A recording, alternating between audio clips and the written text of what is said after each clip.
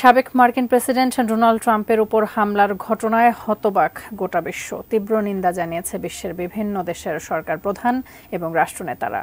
শাওন মাহফুজের আরও একটি প্রতিবেদন।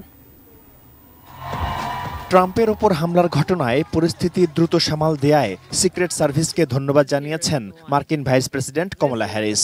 হামলার ঘটনায় ভীষণ মর্মাহত ব্রিটিশ প্রধানমন্ত্রী কিয়ের স্টারমার বলেছেন, সভ্য সমাজে রাজনৈতিক সহিংসতার কোনো স্থান নেই।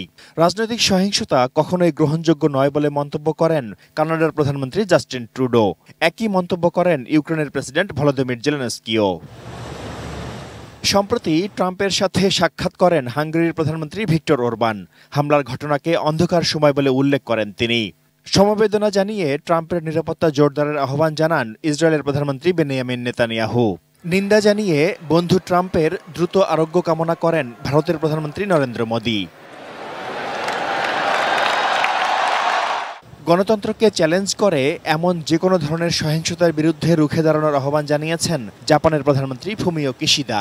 ট্রাম্পের ওপর গুলির ঘটনাকে অগ্রহণযোগ্য বলে মন্তব্য করেন ব্রাজিলের president Luiz Inacio Lula da Silva নিন্দা ও উদ্বেগ প্রকাশ করেছেন অস্ট্রেলিয়ার প্রধানমন্ত্রী Anthony Albanese All Australians, I was shocked by the terrible scenes at former President Trump's campaign. নিন্দা জানিয়ে ট্রাম্পের দ্রুত সুস্থতা কামনা করেছেন জাতিসংঘের মহাসচিব অ্যান্তনিও গুতেরেস।